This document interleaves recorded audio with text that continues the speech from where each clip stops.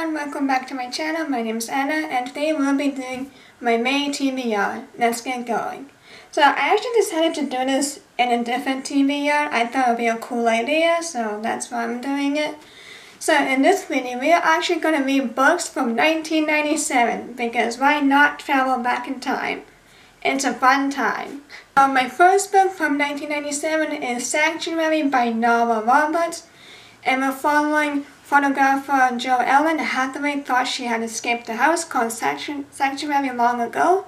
She had spent her loneliest years there after the sudden unexplained disappearance of her mother, yet the sprawling inn on an island off the Georgia coast continues to haunt her dreams. And now, even more haunting are the pictures someone is sending her, strange close-ups and candidates culminating in the most shocking portrait of all, a photo of her mother naked, beautiful, and dead. And my next book is The Climb Tragic Ambitions on Everest by Anatoly Boukreev, G. Weston DeWalt. As the climbers of the 1996 Mount Everest disaster vanished into thin air, one man had the courage to bring them alive. On May 10, 1996, two commercial expeditions headed by expert leaders attempted to scale the world's largest peak, but things went terribly wrong. Crowded conditions, bad judgment, and a bitter storm stopped many climbers in their tracks.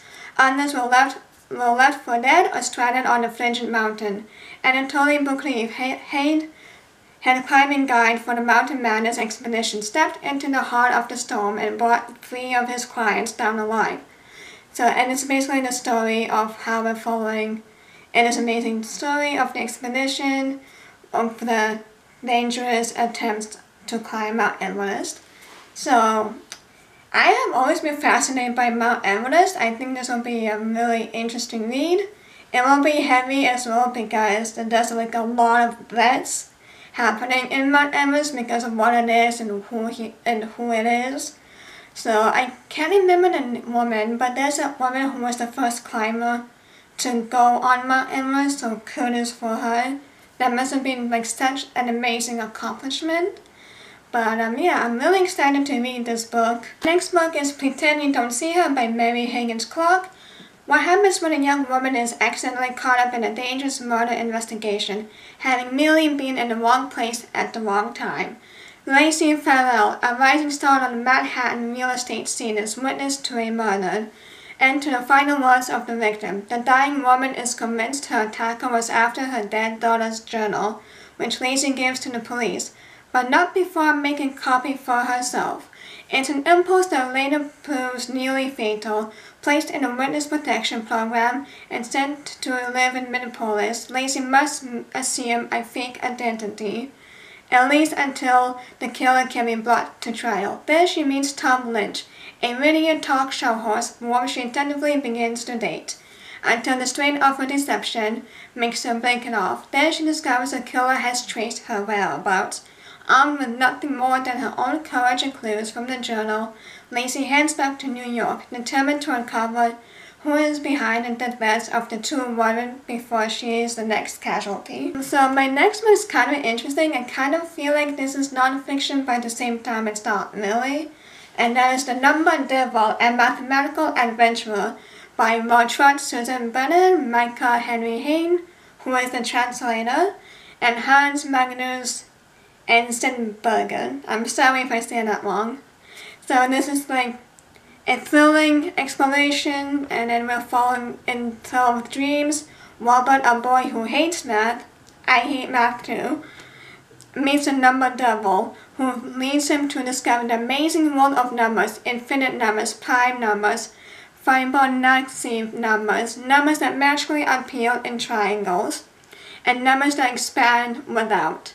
As we dream with him, we are taken further and further into mathematical theory, where ideas eventually take flight until everyone, from those who fumble over fractions to those who solve complex equations in their heads.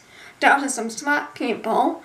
Hans Magnus Enzensberger is a true polymath, the kind of superb intellectual who loves thinking and marshals all of his charm and wit to share his passions with the world.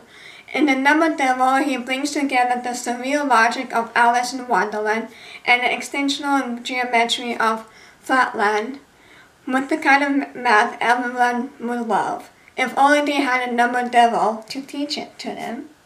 That sounds so exciting. I kind of want to annotate this, but at the same time, like, should I get it as an ebook? I don't know. I was trying to find it as an ebook, which I finally did, so I just might annotate it on the ebook itself.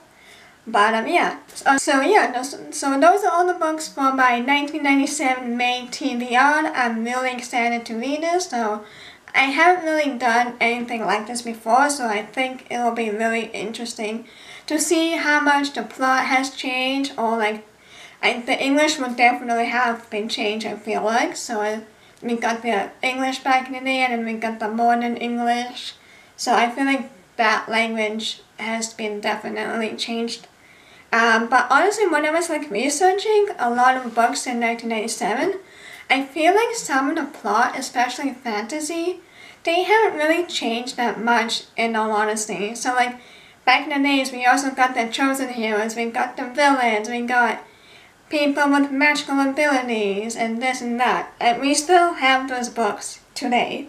So I really feel like that kind of uh, plot hasn't changed. So I, um, I did want to read The Broken Sword by Michelle West, but I could not find any copy online at all.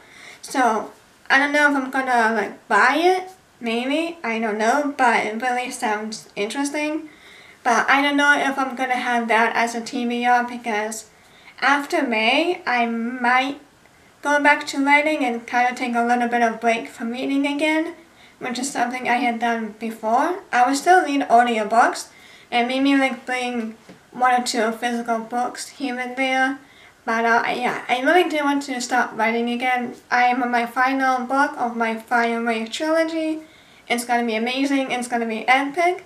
So if you do want to read my my Fire Ray, the links will be down below. The book one and two have been already been released. So if you like superheroes, aliens, and creepy shadows, it's all been linked down below. So now that's fun. But anyways, that's it for my May TBR. Let me know what you're reading in the month of May. So please like, comment, and subscribe so that you'll be notified every time I post. And I will see you in my next one. Bye!